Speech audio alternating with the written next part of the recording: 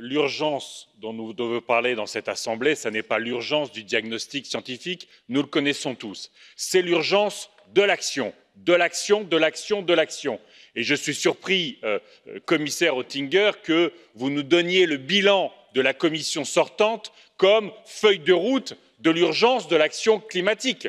L'Europe n'est pas sur les bons rails de l'accord de Paris la proposition de votre commission en matière de politique agricole commune nous fait renforcer les effets de serre nous fait renforcer les pertes de biodiversité alors que nous devons faire exactement l'inverse. vous soutenez des accords de libre échange qui sont climaticides qui, qui participent aussi de l'anéantissement de la biodiversité. alors utilisons nous avons utilisé des milliers de milliards d'euros pour les banques il fallait peut être les sauver. Utilisons des milliards d'euros pour le climat. La Banque centrale européenne, la BEI peuvent agir de conserve pour financer un grand plan d'investissement dans l'isolation des logements. C'est du pouvoir d'achat, c'est de l'emploi, c'est de la justice sociale et c'est se libérer de Poutine et des autres. Nous pouvons agir pour le bien de l'Europe, nous pouvons agir pour le bien du climat. Il faut en avoir la volonté politique.